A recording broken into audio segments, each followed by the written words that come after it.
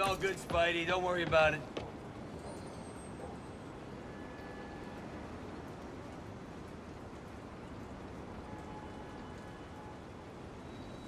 Hey, I'm looking for Detective Mackey.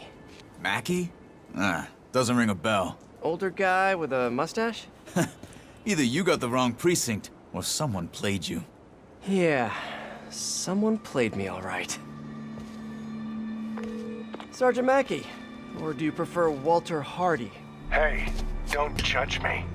I did what I had to do. Your daughter thinks you're dead, you know. And let's keep her thinking that. For her sake. Deal? Deal? You just conned me. Why should I do anything for you? Cause you're a decent guy. Take care of my little girl.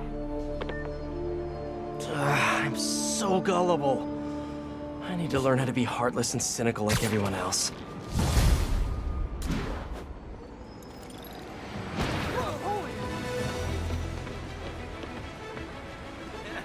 New profile pic.